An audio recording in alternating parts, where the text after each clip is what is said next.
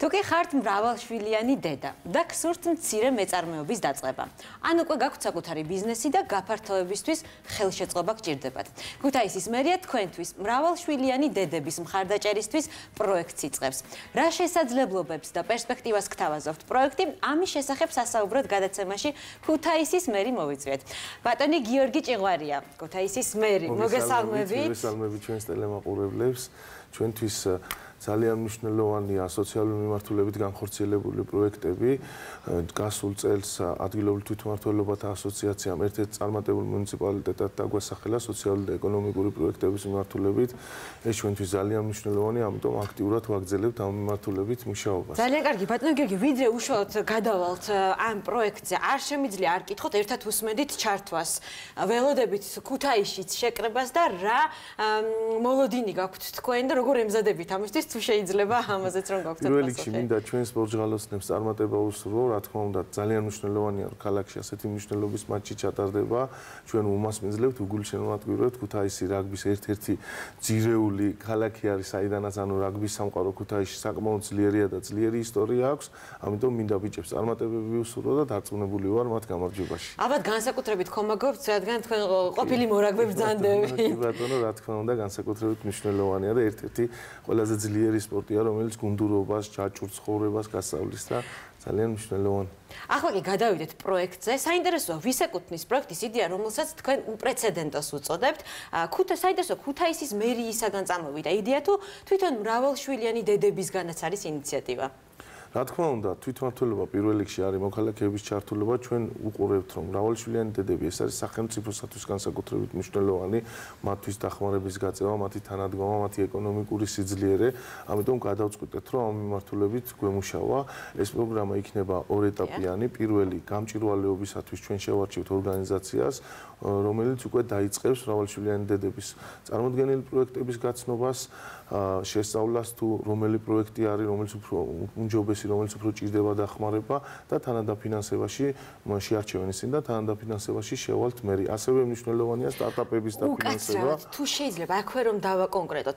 თქვენ ბრძანეთ რომ ორ კონკურსი ორ ეტაპიანია, ანუ პირველ რიგში თქვენ არჩევთ ორგანიზაციებს, რომლებიც შემდგომში დააფინანსებენ გამარჯვებულ პროექტებს. ან თანადაფინანსებით შევლა იქ. ჩვენ დავაფინანსებთ, თვითმმართველობა დააფინანსებს, მაგრამ ორგანიზაცია შევარჩევთ გამჭირვალეობის მიზნით, რომ ამ ორგანიზაციამ შეარჩიოს უკვე წარმატებული ის ადამიანი, ის მრავალშვილიანი დედა, რომელსაც ექნება საინტერესო ბიზნესი, რომელსაც ჭირდება დახმარება ან საინტერესო სტარტაპი, იმიტომ რომ სტარტაპებიც უნდა დავაფინანსოთ.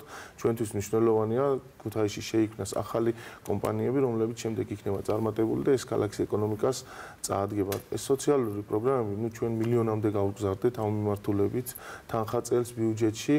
განსაკუთრებით საინტერესო იყო შარშანდელი წელიც ჩვენ დავაფინანსეთ აუტიზმის მიმართულება. შარშა მყავდა 45 ბავშვი ამ აუტიზმის სპექტრით დაავადებული დაავადებულები. 45 ბავშვი ყავდა საინტერესო სამწუხარო დინამიკა 90 ბავშვამდე გაიზარდა უკვე წლის ბოლომდე მოთხოვნა მომართვიანობა ამიტომ წელსაც გავაორმაგეთ თანხა ამ მიმართულებით. ასევე საინტერესო არის ძალიან მარტო ხელამშობლების პროგრამა, რომელიც ჩვენ დავიწყეთ, თანადაფინანსებაში შევდივართ მარტო ხელა სტატუსის მქონე მშობლებთან კომუნალურ გადასახადებში ვეხმარებით. ასევე ძალიან საინტერესოა კიდევ მნიშვნელოვანი ჰერცეპტინი, ეს გახლავთ ძუძუსკიბოთ დაავადებულთა წამალი, რომელიც თბილისში ფინანსდებოდა სრულად ჩვენ სახელმწიფოსთან ერთად ქუთაისშიც დავიწყეთ, წელს ვიწყებთ ამ პროგრამას, რომ მაქსიმალური მხარდაჭერა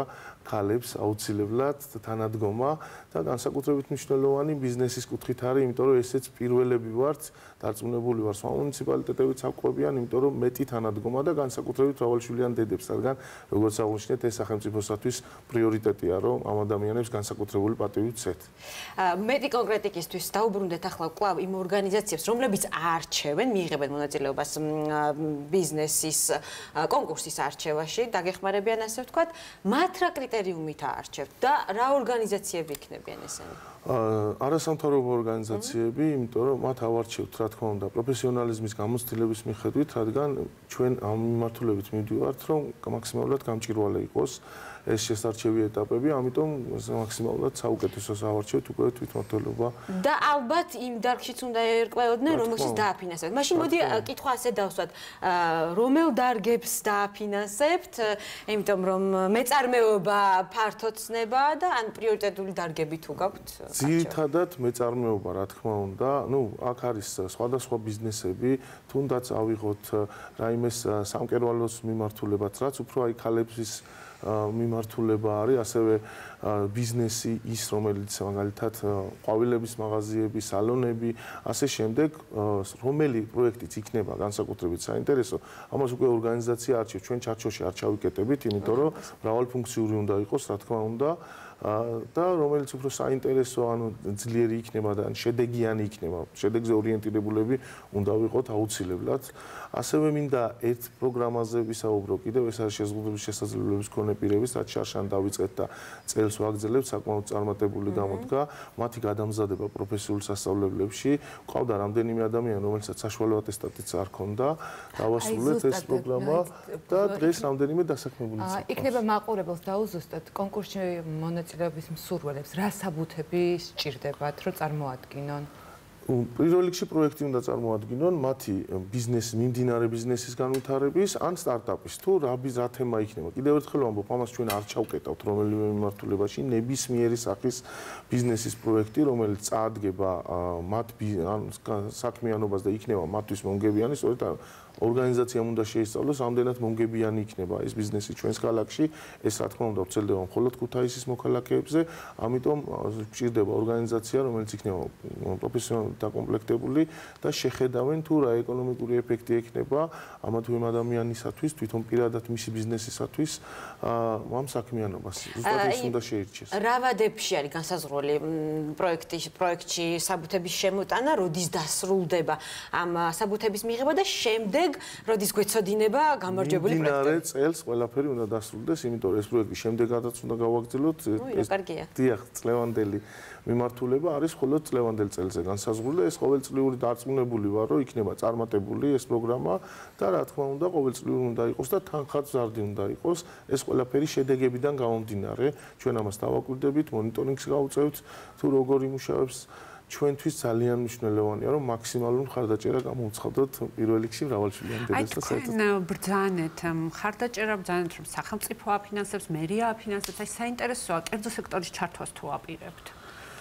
კერძო სექტორის ჩართვა აუცილებელიც და ძალიან კარგიც არის. უბრალოდ ჩვენ უნდა დავანახოთ ყველას თუ როგორი წარმატებულია ეს პროექტი და ამის შემდეგ კერძო სექტორი თავისთავად თვითონაც დაინტერესდება კერძო სექტორის ამ შემთხვევაში უნდა იყოს მისთვისაც სასარგებლო, თუმცა არის ისეთ შემთხვევები, როდესაც სახელმწიფოს უდგანან გვერდით ჩვენ გვაქვს მაგალითად ეგეთი კერძო სექტორი, რომელიც აუტიზმის სპექტრის მიმართულებაზე გვეხმარება, შარშანაც დაგვიდგა გვერდით და წელსაც გვერდით გვიდგა, ძალიან მნიშვნელოვანია ეს, რომ კერძო სექტორიც აქტიურად იყოს ჩართული თვითმართველობის საქმიანობაში, რათა ერთობლივად შევძლოთ ჩვენი ქალაქის უკეთესობისაკენ წაყვანა.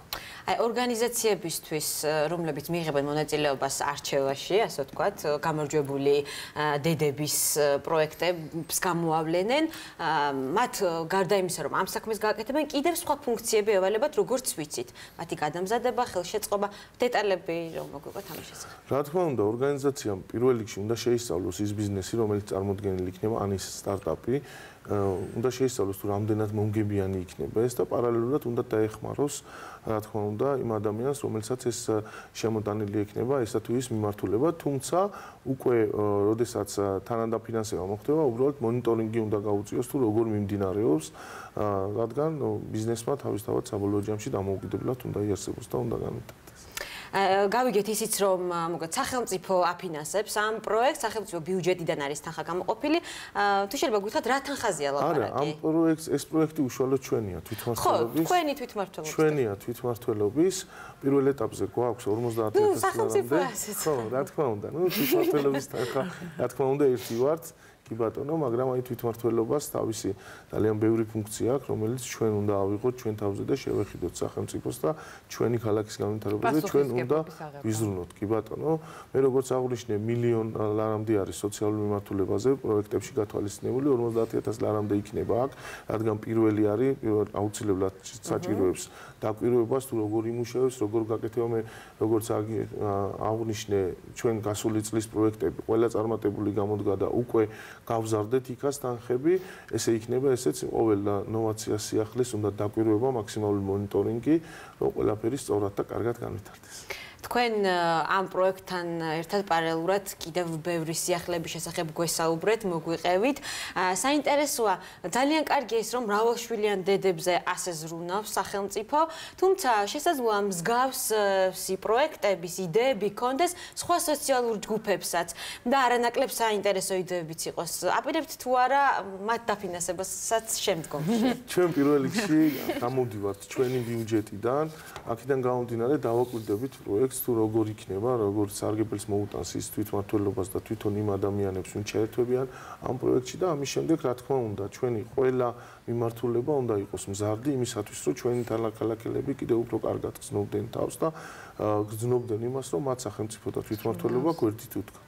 ბატონ გიორგი, საინტერესოა თქვენ ბრძანეთ, რომ ეხლა უნდა შემოვიდეს პროექტები და თქვენ განიხილავთ ამას. საინტერესოა საერთოდ რაოდენობრივად, ალბათ მანამდე მონიტორინგი ჩატარებული გქონდა და იცით, ბევრია მსურველი, ბევრია მრავალშვილიანი დედა, რომელსაც აქვს იდეები, რომელსაც უნდა ბიზნესის დაწყება და აპირებს, ან უკვე აქვს რაღაც ეტაპზე მიყვანი. პირველ რიგში უნდა ვთქვათ, რომ ჩვენ არ განვიხილავთ პროექტებს, განიხილავს ის ორგანიზაცია, რომელიც ჩაერთვება.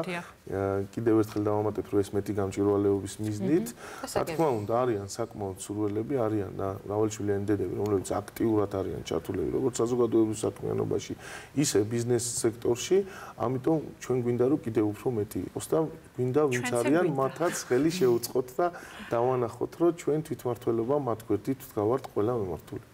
ძალიან კარგია, ძალიან მიხარია რომ ამ ხელ გზა გამოიერეთ და მოხედით ჩვენთან და ასეთ საინტერესო პროექტის შესახებ გვესაუბრეთ, თუმცა ჩვენ შეგაწყვეტინეთ ლაპარაკი სამომავლო გეგმებზე, შიგადაშიგ ამბობდით. კიდევ მოგვიყევით, დარწმუნებული ვარ, კიდევ ბევრი იდეა გექნებათ. როგორ ცხოვრობს დღეს ქუთაისი და რას ახლებს ელიან ქუთაისლებს? თუ როგორც სოციალური მიმართულებით ჭირდება განსაკუთრებული პროექტები, ასევე ინფრასტრუქტურული მიმართულებით აქტიური აქტიურად მუშაობთ. ქალაქში საკმაოდ წყლის რეაბილიტაციის შედეგად საკმაოდ ბევრი გზა გვაქვს დაზიანებული ძალიან მნიშვნელოვან პროექტებს ვახორციელებთ უკვე დასრულდა რუსთაველის ეს თავარი გამზირი არის ქალაქის 3 მილიონი 600.000-იანი ღირებულების ტენდერი რამდენიმე დღეში უკვე გაფორმდება ხელშეკრულება დაიწყება მუშაობა ჩვენ ასევე რამდენიმე მიმდინარე პროექტი გვაქვს ახლა ამ წუთში ქალაქში ბარათაშვილის ქუჩაზე, დუმბაძის ქუჩაზე, იაშვილის ქუჩაზე და ასათიანის ქუჩა. ნუ ასათიანის ქუჩა განსაკუთრებით საინტერესოა, იმიტომ რომ რამდენიმე წელი გაგზელდა ეს ქუჩა, მისი გაიწელა მისი რეაბილიტაცია, ჩვენ დავიწყეთ. ახლა ადგილობრივ მოსახლეობას ძალიან მოწონს. ჩვენთვის მნიშვნელოვანია რომ ქალაქი იყოს ინფრასტრუქტურულად მოწესრიგებული, ტურისტული კუთხით აუცილებლად მიმზიდველი და რა თქმა უნდა ამ თანხებს ჩვენ ბიუჯეტს ვანაწილებთ როგორც სოციალური მიმართულებით, ისე ინფრასტრუქტურული მიმართულებით. მნიშვნელოვანია ძალიან დაიძრა უკვე პროექტი რიონის სანაპიროს განვითარების და ეს ქუთაის საერთოდ ახალ სიცოცხლეს და სისხლს გადაუსხამს. ეს გახლავთ წითელი ხიდიდან ჯაჭვის ხიდამდე მე-19 საუკუნის სახლები გვაქვს ქალაქში მათი სრული რეაბილიტაცია. ამ პროექტზე საუბარი იყო ჯერ კიდევ 1985 წლიდან ინფრასტრუქტურის სამინისტროსთან ერთად დავძარით ეს ძალიან მნიშვნელოვანი პროექტი, ასევე გალერეის თემა. გალერეაში გვაქვს უნიკალური ნამუშევრები, რომლებიცაც ფაქტურად ვერ გამოგვაქვს, იმიტომ რომ სივრცე არ ყოფნის და გალერეის პროექტირებაც დაიწყება ძალიან მალე ინფრასტრუქტურის სამინისტროსთან ერთად. მინდა მადლობა უთხრა სამინისტროს ასეთ მნიშვნელოვან მხარდაჭერისათვის ჩვენი ქალაქისათვის. ეს არის განსაკუთრებული პროექტები, რომელიც ძალიან მალე ქუთაის შეუცვლის საერთოდ სახეს და მივიღებთ ერთ-ერთ ძლიერ ქალაქს ჩვენს ქვეყანაში. დიდი მადლობა ჩვენს მაყურებელს შევახსენებ ჩვენი სტუმარი გახლდათ ქალაქ ქუთაისის მერი ბატონი გიორგი ჭეღვარია.